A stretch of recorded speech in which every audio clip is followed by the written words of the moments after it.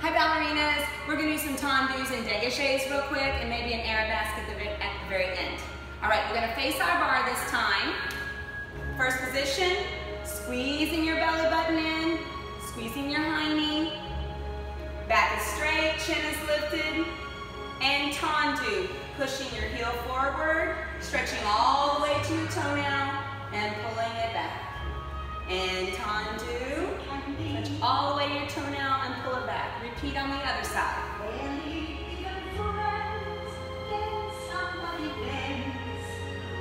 Very nice. Now let's add a plie in second. And tendu. Plie second. Tendu.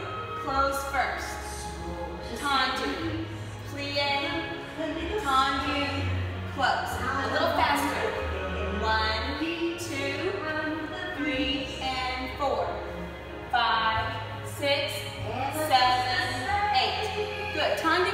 Point. Now we're to do degage. So if we do a tendu, we're pointing all the way through our toe and pulling it back, but our toe always stays on the floor. If we're doing a dégagé, we're pushing through a tendu, then a slight lift, and then back down to the floor and pull your toe back. Let's try some dégagés. And we're gonna go. One, two, three, four,